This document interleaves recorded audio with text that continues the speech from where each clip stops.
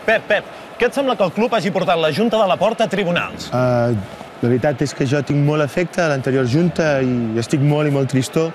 Uh, ho estan passant molt malament i tant de bo això no vagi a més. Al loro! Ja ho heu sentit. La Junta actual us està embaucant. Ho ha dit en Pep Guardiola i... Ets, ojo, si ho diu en Guardiola, va a missa, eh? Toma, Sandrusco! Amiguet del Pep, ara, eh? Jan, Jan, Jan, sisplau, sisplau, tampoc et passis ara.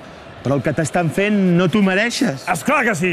I ara digues a aquests senyors a qui han de votar per proper president de la Generalitat.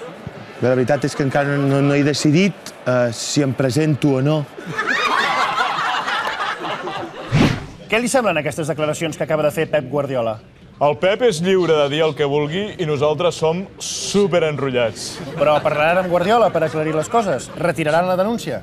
Tractarem el tema igual que hem fet amb totes les altres qüestions polèmiques. Farem veure que no hem sentit res i deixarem passar els dies fins que la gent ja no se'n recordi.